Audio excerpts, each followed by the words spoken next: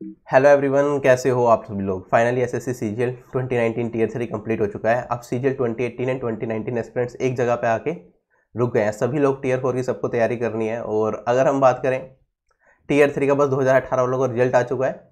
C G L twenty nineteen aspirants का result waiting है। बाकी दोनों एक ही लेवल पर फ़िलहाल आ चुके हो आप। तो एस का टॉपिक अगर टीयर थ्री की बात करें तो यहाँ पे था essay on importance of environmental impact assessment in India और प्रेसी की बात करें तो प्रेसी में एक आपको टॉपिक लिखना था रिगार्डिंग कि जो स्पीकर होते हैं, उनकी नर्वसनेस जब वो स्टेज पर जाते हैं और ओवर कॉन्फिडेंस उससे रिलेटेड कोई टॉपिक था जो मुझे बताया? तो प्रेसी की बात करेंगे अगर, ये थोड़ा अनएक्सपेक्टेड था कि काफ़ी टाइम से एस और लेटर रहा था इस बार चेंज करके एस एस सी ने प्रेसी दे दिया कि यू एफ़ एम का खेल ही खत्म करो। ठीक है यू एफ़ एम में हर बार कुछ ना कुछ होता रहा था। तो यू एफ़ एम ना दे, कि लेटर में ही होता है यू एफ़ एम जनरली जो हम देख रहे थे।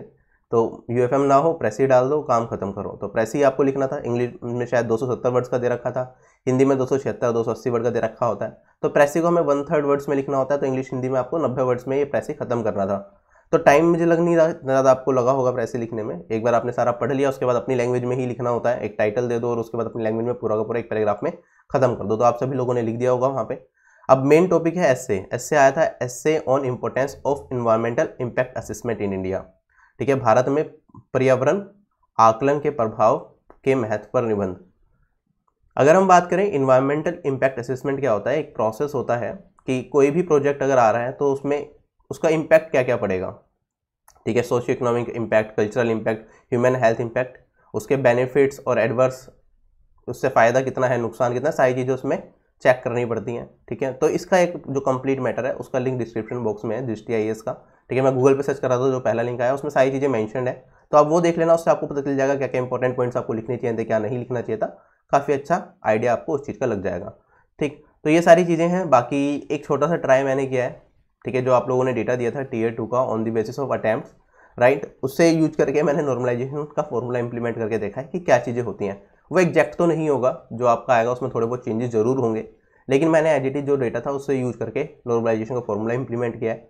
ठीक है, जल्दी एक घंटे के अंदर वीडियो आपको मिल जाएगी। तो वो देखना कि किस तरह से काम कर रहा है, किस शिफ्ट में क्या क्या चेंजेस देखने को मिलेंगे, कितने पर्टिकुलर मार्क्स में राइट तो अगर हम बात करें उसमें अट्ठारह शिफ्ट वाले का डेटा मतलब जो ग्राफ है वो बिल्कुल अलग ही जा रहा है। ठीक है, वैसे तो जो अब तक होते हुए हैं, वैसे ही है नॉर्मलाइजेशन वैसे ही हो रहा है।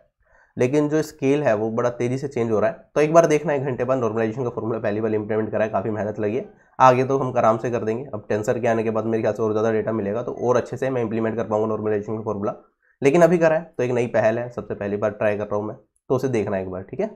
और उसमें जो भी डेटा मैं बताऊँगा, उसे बहुत ज़्यादा सीरियसली लेने की ज़रूरत नहीं है, वो बस फॉर्मूला इंप्लीमेंट किया है राइट बाकी मेन काम नॉर्मलाइजेशन का होता है चीज़ों को बैलेंस करना तो वो नॉर्मलाइजेशन का फॉर्मूला करेगा, नहीं करेगा तो हम देखेंगे क्या दिक्कतें हैं फिर, ठीक है? फिर आगे प्रोसेस में जाएँगे हम इसमें। सो आई होप आपने अच्छा कर लिया, अब 2019 वाले थोड़ा फ्री रहो अपना दिन का अच्छा गया था टीयर टू बी और तो रिलैक्स फील करें, बाकी लोग, जिन्हें लगता है कि वो बहुत अच्छा नहीं कर पाए तो अगले साल की तैयारी करें या अपकमिंग एग्ज़ाम्स की तैयारी करें, ठीक?